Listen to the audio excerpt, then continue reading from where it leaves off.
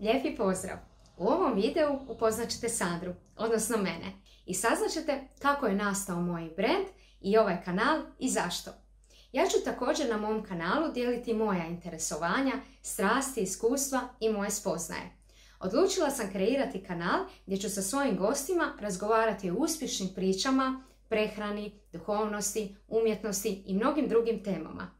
Kako svoju strast i svoj hobi pretvoriti u ono s čime se želimo baviti, raditi svoj posao i snova i živjeti ispunjen i uspješan život. Upravo moje vlastito iskustvo za promjenom karijere inspiriralo me da pokrenem svoj kanal.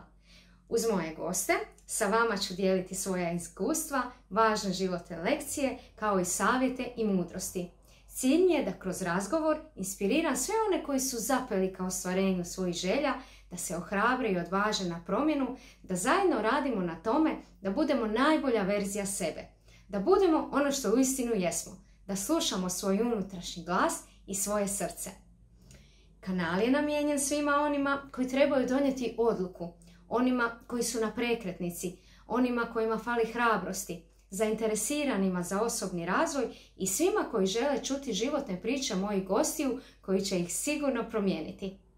Jako se veseli novoj pustolovini i novim poznanstvima. I ako barem jedna duša putem ovog kanala bude inspirirana da postigne svoj cilj i ostvari svoj san, moja misija će biti ostvarena. Pozivam vas da zapratite moj kanal sa željom da kreiramo zajednicu sretnih i uspješnih ljudi.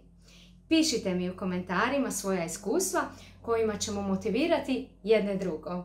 Ostavite like ako vam se sviđa ovaj video i podijelite ga s prijateljima. Uživajte i radujte se ovom putovanju zvan život.